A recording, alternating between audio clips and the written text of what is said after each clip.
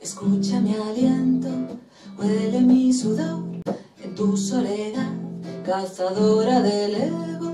La voz de la noche susurra al oído en tu soledad, cazadora del ego y de lo establecido. Vamos, ven, ven, vuela conmigo, vamos, ven, ven.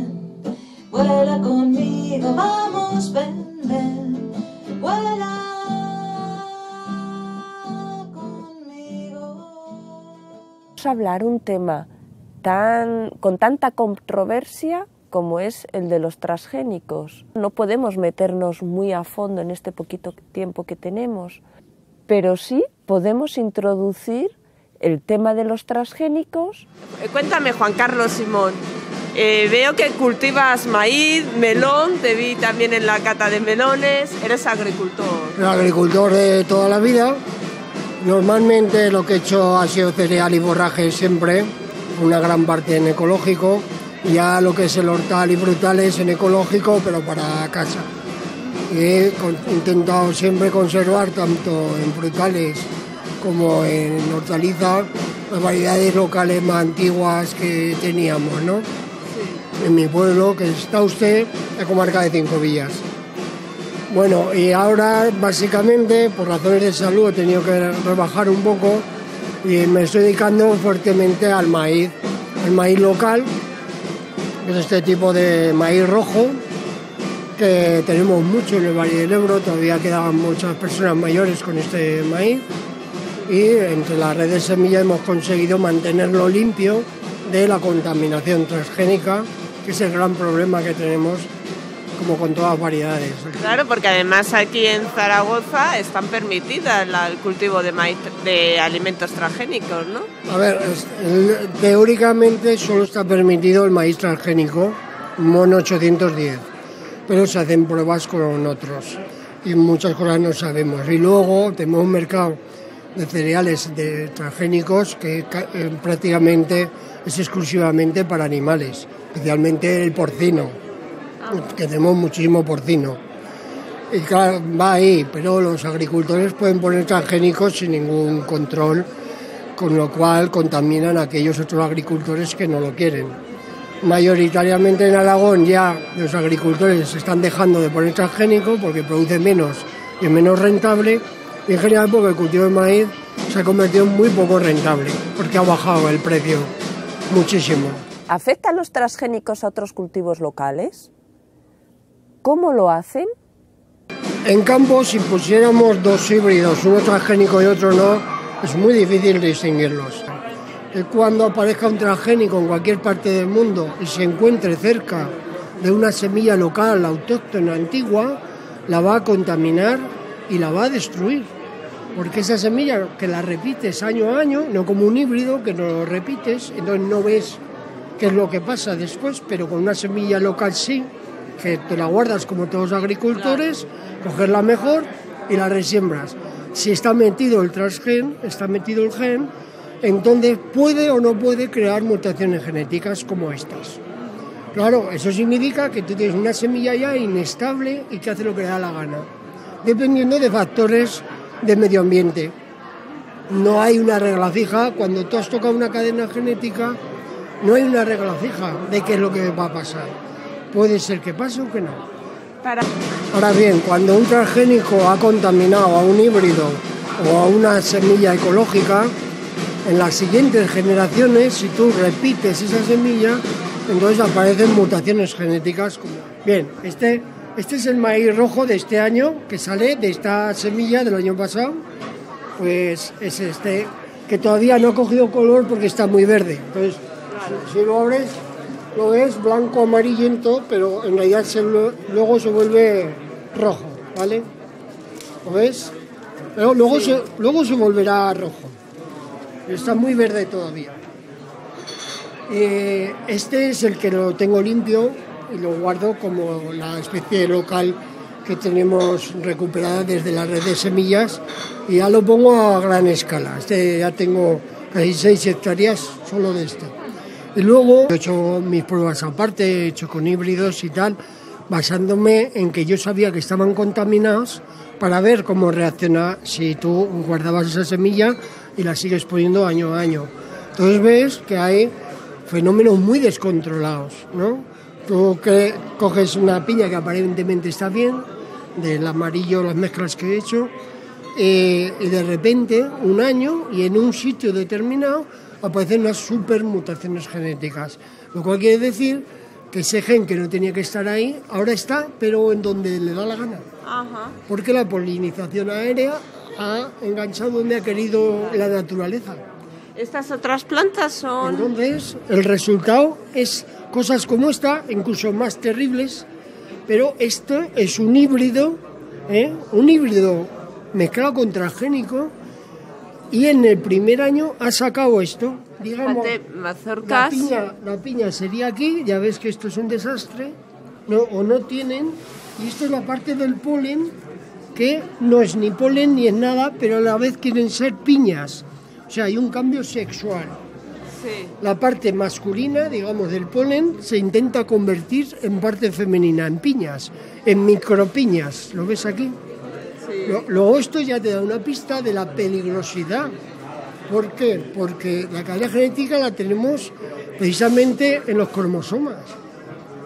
Y entonces vas directamente así a priori, solo se ve. Y si afecta a las plantas, no sabemos también cómo afecta a las personas o a los animales. Claro, pero en generaciones. Porque yo con una semilla. Una que de primeras no lo ves. Claro, yo he sacado más a partir del tercer año, por ejemplo. No sé por qué, aún. ¿eh? Y, después de que lleva eso ya aparece alguna o no aparece. Depende, de, como digo, de otros caracteres medioambientales. Eso es la epigenética. Es que es un tema delicadísimo. En hombres, ¿cuándo sabríamos si pasaba un fenómeno de estos, por ejemplo, cuando se está mezclando con nuestros disruptores endocrinos que vamos dentro? como los químicos agrícolas, como el bisfenol A, todo eso. ¿Cómo va a actuar el promotor 35S que ya sabemos que las madres en Canadá le han pasado la leche? ¿eh? Se le han pasado tanto la toxina, eh, que es la CRI1AB del, del transgénico, como el promotor PR35S. Han aparecido los niños amamantados por esas madres que habían comido transgénico. ¿Cómo sabemos cómo afectará. cómo afectará. A lo mejor a la tercera generación como el maíz que afecta al sexo, pues a lo mejor ¿Y cómo será el efecto cóctel? ¿Cómo eso, con todos estos disruptores además que llevamos en el cuerpo, cómo actuará? ¿Y qué ocurre si no queremos plantar cultivos transgénicos o no queremos consumirlos? ¿Estamos protegidos? ¿Hasta qué punto? A ver, en principio, eh, cuando empezó el transgénico, mayoritariamente se puso sin permiso legal, allá por el año 2000-2002. El gobierno de Aznar lo permitió meter sin la legalidad europea, sin pruebas, lo metió. Entonces muchos agricultores no sabían ni lo que era un transgénico, más que que se les decía que podían resistir al taladro. Eh, después vieron consecuencias. Nosotros, tanto en, cultivo ecológico como en convencional, si lo querías vender para consumo humano, pues no podía estar contaminado el transgénico. Entonces empezamos a hacer pruebas de, la transgenia, si la tenía o no, se habían contaminado. Pues cuando va y contaminan, pues nos damos cuenta que perdemos la cosecha y tiene que volver a animales, ¿entiendes? Ahí tenemos un, grandísimo problema, empezamos a denunciar a las instituciones que si nos contaminábamos y perdíamos dinero por no vender el maíz ecológico, pues ¿qué pasaba? Pues bueno, las instituciones negaron hasta la existencia de la contaminación por la polinización y, y después simplemente han dicho así, ah, contamina, bueno, ¿y qué pasa? no hay ninguna normativa que... Que regula eso, ni, os protege a los demás. Ni nos protege ni nada. Simplemente nos imponen y nos destruyen la, la cosecha de venderla con un precio, venderla con otro, por eso. Y la calidad también, porque tú cultivas ecológico no solo por economía, claro, eres agricultor y, tienes que cuidar la economía, pero sobre todo es una filosofía de vida, unos valores cara a la salud, al medio ambiente. Y otra cosa que a mí me hace reflexionar mucho y es un poco, uy, atención, dónde pones tu dinero y dónde apoyas, es esa moda que hay ahora de regalar lo que hay en nuestra cultura a otros países. En este caso concreto se están regalando las empresas de semillas, las empresas con ciertos intereses, ciertas asociaciones, ciertos países regalan a otros países semillas manipuladas genéticamente. Allá donde hay plantaciones de semillas manipuladas genéticamente, se contaminan las plantaciones de semillas locales, de semillas autóctonas, y si las semillas manipuladas genéticamente te exigen que cada vez tengas que comprar semillas, ¿estamos ayudando a ese país regalándole semillas? ¿Regalándole supuesto alimento? ¿O estamos matando los recursos de su país y la posibilidad de que sea independiente? Rompiendo los mitos de los transgénicos.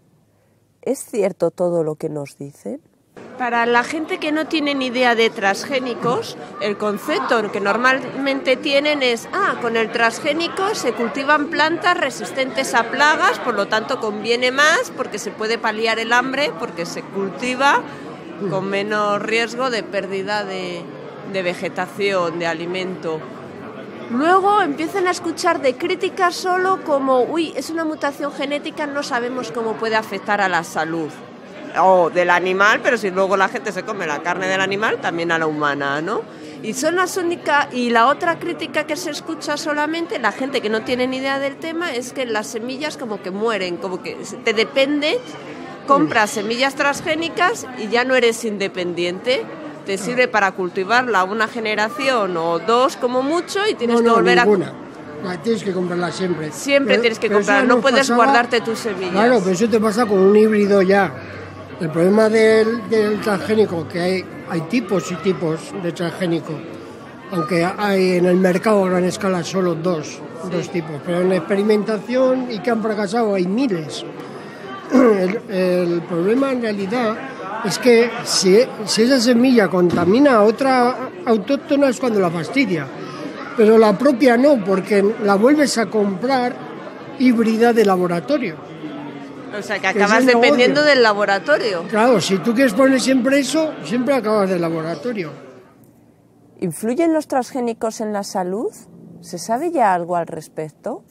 Ahí, ahí ya lo más grave es el estudio del grupo CRIGEN, europeo, francés, de la Universidad de Caen, que es que lo pone siempre el doctor Serralini, lo tienes en, por supuesto, toda maquinaria de las compañías de semillas transgénicas se puso para denigrar el estudio, que el estudio es muy importante, de ratas en dos años, nos que demuestra que el transgénico, solo por ser transgénico, y en varios tipos más, otros que además llevan químicos asociados, eh, tanto por una cosa como por otra terminan por producir cáncer. O sea, todos los animales mueren en dos años.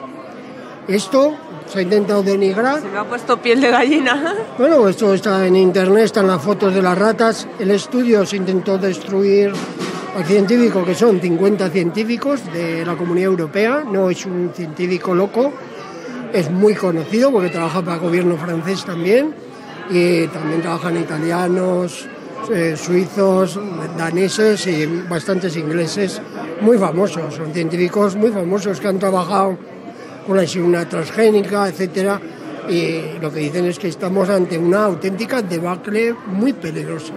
A trabajar con genes, con bacterias, mutantes y virus, no es un juego de, este juego es muy y no es tan controlable como se no es tan controlable. Ningún científico serio que haya trabajado con esto es capaz de decir que esto se controla, que esto es seguro y tal. Y si todas estas alteraciones le ocurren a las ratas con estos tumores o estas alteraciones de los órganos sexuales le ocurre al maíz, ¿quién nos dice que no va a ocurrirle a los humanos? ¿Quién nos puede asegurar que los humanos estamos protegidos ingiriendo transgénicos directa o indirectamente? Paliar el hambre.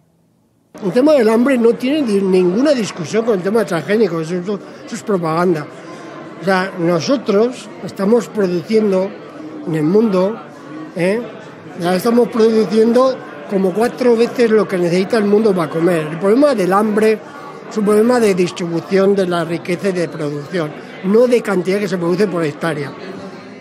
Mayor producción. Los propios estudios de nuestra comunidad, los oficiales, dan que en cinco años ningún transgénico ha demostrado nunca que produzca más que su híbrido isogénico, el que es igual pero no transgénico. Ninguno. O sea, es todo un mito lo que se oye. Claro, eso es todo publicidad y en el caso de la soja transgénica, que es el producto más, más importado para el porcino, pues produce, pero bastante menos, bastante menos. La, es más la, practi- la practicidad que otra cosa. Empleo de menos químicos. El otro factor que siempre se habla es que se ahorran químicos. Lo que se ha demostrado en Estados Unidos, bien estudiado, es que se han aumentado los químicos. ¿Por qué? Porque asociado, ahora, cuando tú haces una planta transgénica que no existe en la naturaleza, algo dejas de hacer. Esa planta está haciendo algo que no tenía que hacer, que es crear una proteína, más otros factores como la lignina, que consumen mucha energía. Por lo tanto, de la otra energía que era para producir más, produce menos.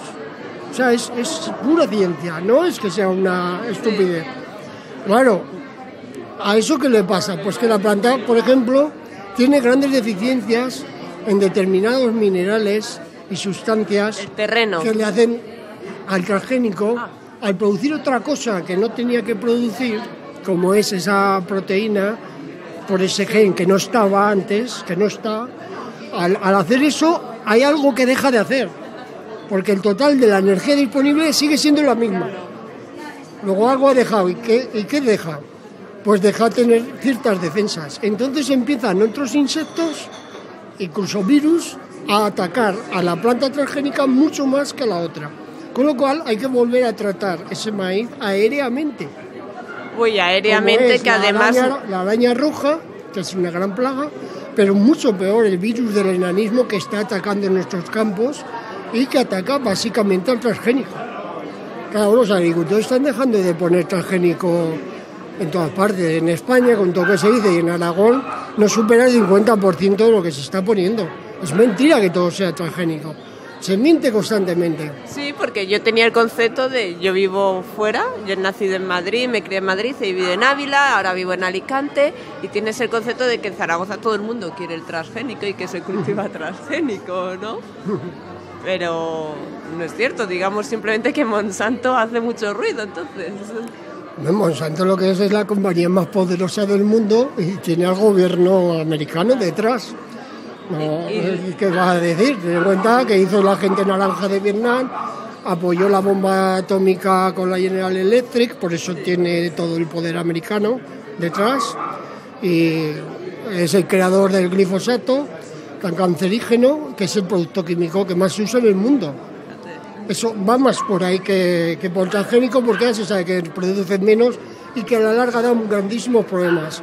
La Food and Drug Administration, perdonad por mi pronunciación, o FDA, es la que se encarga de garantizar eh, la seguridad de los productos manipulados genéticamente con destino aliment- alimentario en Estados Unidos. Pues en la carta estándar que ellos escriben para decir este producto eh, ya se puede llevar al mercado y lo pueden consumir los humanos sin riesgo para ellos, es literalmente basándose en la evaluación nutricional y de seguridad realizada por Monsanto, esta agencia entiende que Monsanto ha llegado a la conclusión de que el grano y el forraje de maíz derivados de la nueva variedad no son materialmente diferentes en su composición, seguridad u otros parámetros relevantes del grano y el forraje comercializados actualmente. y que no plantea cuestiones que requieren una revisión o aprobación de la FDA previa a su salida al mercado. Y voy a repetir esta frase, basándose en la evaluación nutricional y de seguridad realizada por Monsanto. No nos creamos que aquello que aprueban los estados es completamente independiente, es completamente neutro y con una visión crítica de juicio neutra respecto a lo que opinan las compañías. Porque aquí tenemos un ejemplo. La posición de los ayuntamientos, ¿hasta dónde están concienciados de este tema? Valorando lo local, y el Estado sabemos que se mantiene un poco al margen, ¿no? No regula, por ejemplo, no protege a los agricultores ecológicos, pero las pequeñas localidades, los ayuntamientos apoyan un poco más, hay más conciencia o no? no? No, hay ninguna conciencia más allá de que el ayuntamiento pues haya recibido alguna charla nuestra de la asociación de la AST, por ejemplo, que es Aragón Sin Transgénicos, donde estamos 80 grupos sociales, sindicatos, partidos en contra de los transgénicos, un grupo muy poderoso.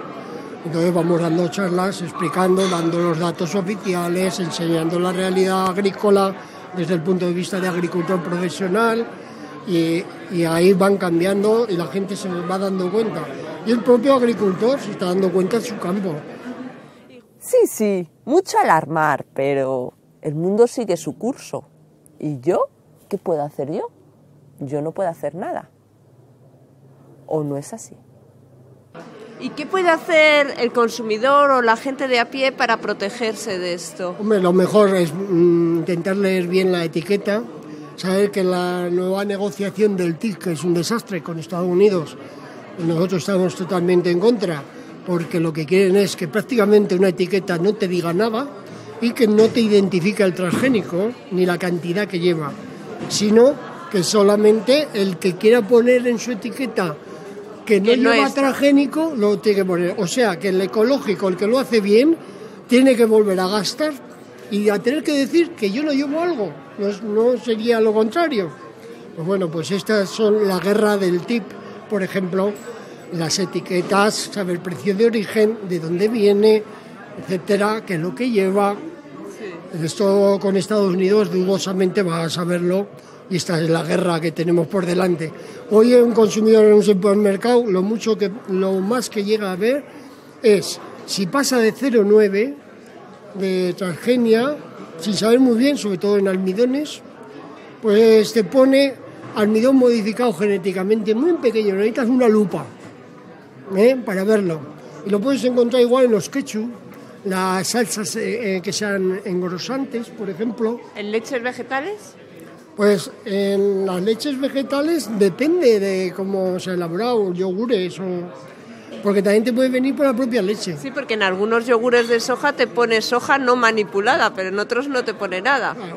La única garantía que hay es que sea ecológico. Si lleva el sello de agricultura ecológica, Seguro que no hay En la agricultura ecológica no está, permitido. O sea, cualquier eh, producto ecológico no hay tráfico. No debe de llevar. En Estados Unidos no lo sé.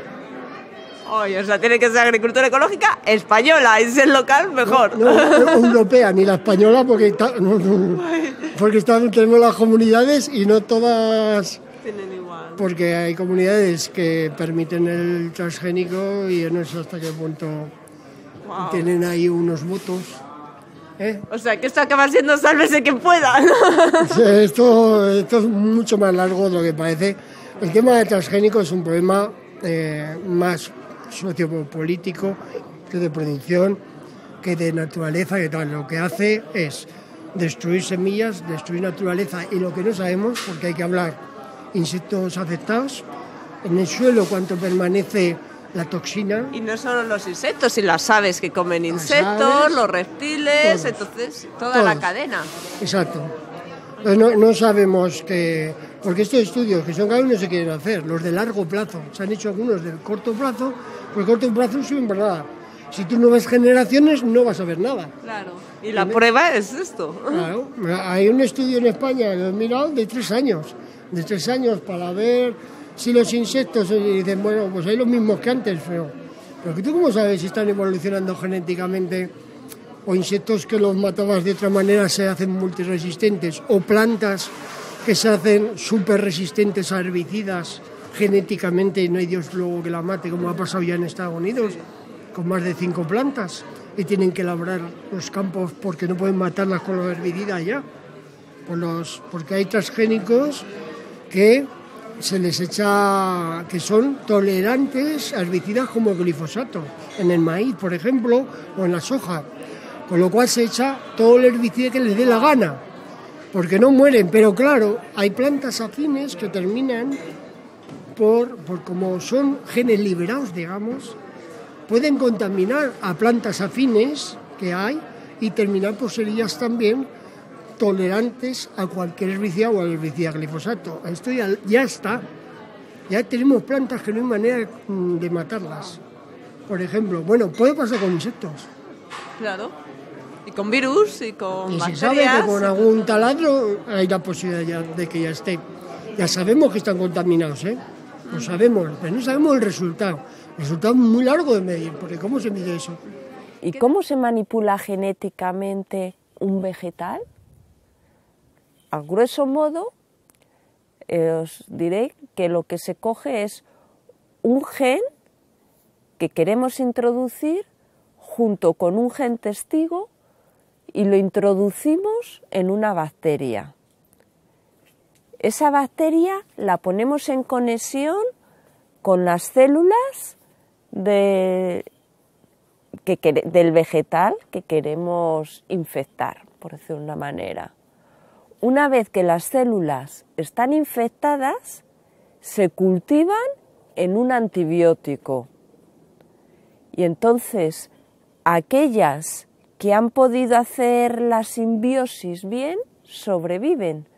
Y las células que no han podido aceptar al gen, mueren. Y las que sobreviven crean plantas transgénicas. Continuamente escuchamos de la problemática actual que hay con los antibióticos y la resistencia de ciertos agentes patógenos a ellos. Pero por otro lado, los empleamos continuamente. Las células se cultivan en antibióticos. ¿No es un poco un contrasentido? ¿A qué esperamos para empezar a vivir de un modo consecuente? Porque yo soy muy afectado de químicos agrícolas, porque yo uso en mi tiempo todo y tengo el corazón muy deshecho y el pulmón. O sea, por propia experiencia has aprendido sí, es una que de lo las que nos cosas- venden no es cierto. Hombre, y, y el veneno que comamos es, es muy, muy el alto. agricultor dañado. A, a pesar de que los agricultores intentamos, si nos controlan hoy mucho, quieras que no, hablamos de venenos. Eh, y entonces deberíamos ir, no nos queda otra alternativa, a no ser que queramos mantener este nivel de, de daño, ¿no? que a largo plazo no sabemos qué va a pasar. O sea, en tu Ya, caso ya, el pulmón sabemos- y el corazón se ha dañado con la química que se echa. Pues como, entre otros factores, por supuesto, hay muchos factores. Bueno, el índice que tenemos de cáncer en las zonas agrícolas cerealistas es altísimo, es los más altos de todos. Zaragoza, tanto vía agua como vía productos, un índice altísimo de niños de bajo peso, de abortos, de cánceres, es una pasada. O sea que como consumidor también tenemos que ser conscientes que cuando compro un tomate con cierta química no solo me estoy contaminando a mí, sino estoy siendo responsable de otra persona que también se contamina, ¿no? Sí, Del sí. agricultor y de demás, de un sistema También.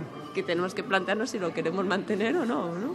Y a, pesar de todo, todavía se, se da una imagen de que el hecho de echar algún contaminante, que no es nada, ¿no? que están muy regulados, que tal, pero constantemente se están prohibiendo al ver resultados de largo plazo. Y se echa más cantidad también, muchas Sí, veces. mucho más de lo que sí. eso. A pesar de que ya nos ponen un teórico control, tenemos un carnet de control, Sí.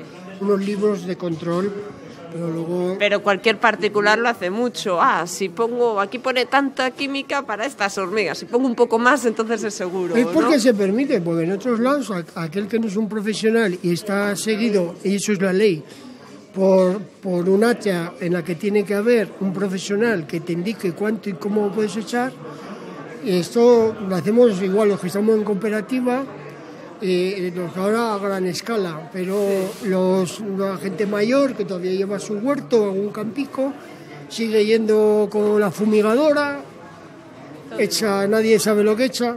Yo desgraciadamente hay, hay, hay gente mayor que ha perdido mucha, porque no lo siente en él, porque esto es a largo plazo. Es una generación que venía muy sana, ahora se ha contaminado, pero como mucho contamina a sus hijos y a sus nietos. Pero él ya no lo va a padecer, ya es mayor, aunque lo lleve. O sea, si se muere de cáncer con 80 años, eh, Y es no lo va a ser consciente ¿De tampoco dónde- de qué es eso, porque bueno, ya eres mayor Claro, y ya así que no hay la conciencia. La gente mayor de repente ha empezado a usar químicos sin ninguna conciencia de daño porque a él no le ha pasado nada. Claro. Aunque luego su nieto va y le pase lo que sea. ¿Y cuál- Y ahora el mensaje de Juan Carlos Simón a los televidentes. En el caso del tema del transgénico, mirar muy bien la etiqueta, no creerse nada de la gran publicidad que hay, ni en cuanto a producción, ni en cuanto a reducción de químicos. Todo eso está muy bien demostrado que no es así, y en cuanto a que no hay peligrosidad en la salud. Está muy bien demostrado que producen cáncer. Producen cáncer, destruyen el, riñón y el hígado lo primero. ¿eh? A largo plazo y en generaciones, pero a largo plazo lo que nos pasa, eh, que es que tenemos que empezar a tener más conciencia, primero de lo que comemos, porque apoyamos al comer cosas que están mal hechas eh, y engañosas, no solo nos hacemos daño a nosotros, sino que hacemos daño porque estamos publicitando que se mantenga ese tipo de producción también. Porque si el agricultor no vende un producto porque lo hace mal, dejará de hacerlo también. Porque Claro, tendrá porque- que producir algo que venda, ¿no? Y que además saque más dinero económicamente. Con una producción ecológica bien hecha, hoy eh, tenemos mercado en Europa para sacar buenos precios, para ser sano, para ser digno y además tu producto ganar más dinero. Sí, yo he leído que el 90% de la producción ecológica de España se exporta al Sí, extranjero. sí, sí. sí. Eh, en los años anteriores estamos casi en el 100% en muchos productos. Incluso llegaba a volver ese producto ecológico transformado de otras naciones como Francia a los supermercados con un precio astronómico que ni tan siquiera había comprado el agricultor. Fíjate, tenemos lo mejor aquí en casa y Sí, lo escupimos y nos comemos lo peor. ¿no? Y España ya produce muchísimo, tanto industrialmente como en pequeña escala a nivel de circuito corto. eh, puede producir, ha producido mucho. En Aragón, desgraciadamente, producíamos muchísimas hectáreas, muchísimas, tanto en secano como en regadío.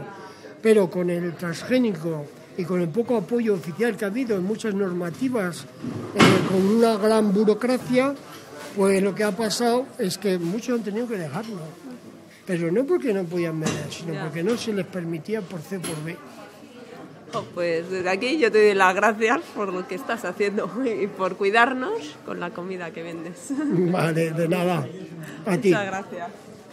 Mi agradecimiento a la cadena de televisión STV Rioja y al canal Ciencia y Espíritu TV por ambos emitir el programa Amor y Vida TV. Gracias. Y si os ha gustado este vídeo, pinchad al me gusta, compartirlo y suscribiros, porque con cierta frecuencia subo vídeos como este. Fluir, sentir, volar, divagar en el umbral, arrojar toda la piel, atravesar el acá. Soy una abeja que endulza el pastel, el universo es mi colmena, que no a veces me niegue ante él. Todo llegará, todo sanará,